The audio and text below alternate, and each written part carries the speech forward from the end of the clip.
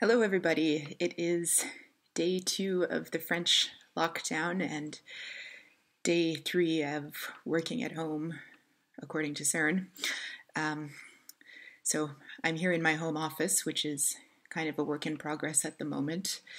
Um, if you hear noise in the background, it's my neighbor's kids playing outside, so things are a little bit different than they, they would normally be where I'm in my own private office where I can just close the door. Um, just going to have to be patient with this, I guess. Um, I, I, thought I would talk a little bit about how work at CERN is actually being affected by the changing regulations and, and shutdowns. So, over the past week, I've been in two different workshops. Um, one of them was a meeting of about 30 or 40 people, and this was all held on video conferencing.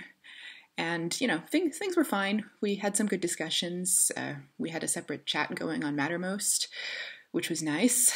But, um, you know, one, one of the drawbacks of these video only meetings is that you lose things like coffee breaks where you can chat with people one on one or in small groups. And this is really where a lot of the interesting discussion and, and work happens and we've lost access to that for the foreseeable future. So that kind of sucks. Um, another thing that wasn't so great was we have two colleagues who are retiring at the end of the month who have been with us for a long time, and we were planning on having a retirement celebration and goodbye party for them, and that's obviously been cancelled. So it's a bit of a disappointing way to end your career, I have to say, but there's nothing we can do. So um, the other meeting that we've had this week has been a larger meeting of uh, 100 plus people. And this one's been a little bit more challenging because it seems like our video conferencing system, uh, between this meeting and all of the other parallel meetings which are happening at the same time, are really putting a lot of stress on our, our, video conferencing. So people have been complaining about not being able to connect and not being able to participate. And you know, again, it's it's not great because a lot of people normally come from from out of town for these meetings. So again, we're missing out on discussions with colleagues, and you know, some of these people are in Japan or the U.S. or Canada. So we've had to rearrange our, our meeting schedule, which means sometimes listening to talks at 7:30 p.m. or something like this, which is not awesome if you're trying to keep a normal routine to maintain your sanity, but we have to do what we can. Um, in terms of the work itself, uh, things are very uncertain at the moment. So I'm coordinating an upgrade project, a hardware upgrade project, and all of our work had been taking place uh, in a lab on site at CERN. And as of Yesterday, this has been completely shut down. All of our equipment has been powered off, and we no longer have access to it. We also had to shut off our system, which is running underground in Atlas.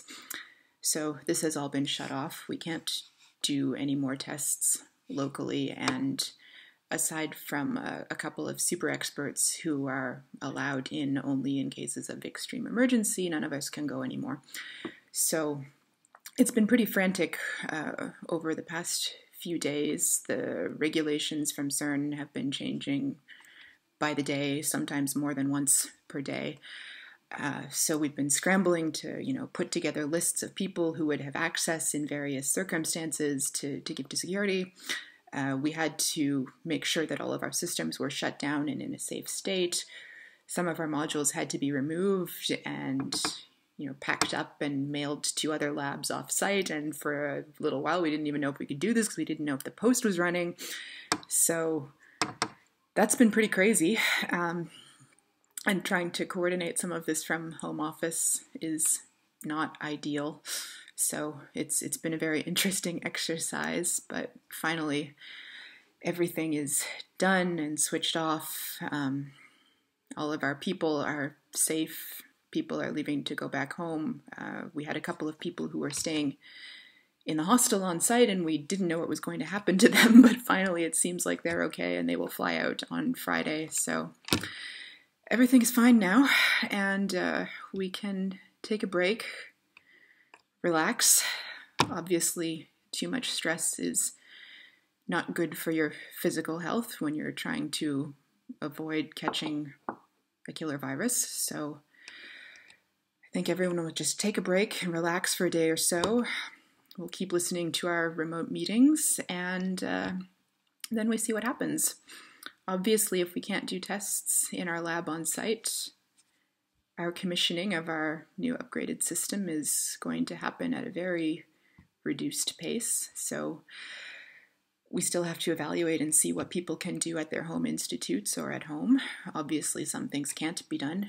If you don't have a lab to do your work in, then you can't work. But people can still work on software or, you know, do firmware documentation. So something will get done. We're just not quite sure what and how fast it will happen. So impact on uh, physics progress is yet to be understood. But everyone is safe, everybody is healthy, our equipment is safe, so that's what matters. For myself, I have my home office. It's a beautiful day outside, so I'll probably go have a coffee break on the terrace in between listening to presentations. I have a nice supply of coffee and chocolate biscuits, so I think I'm all set. And I will talk to you again soon.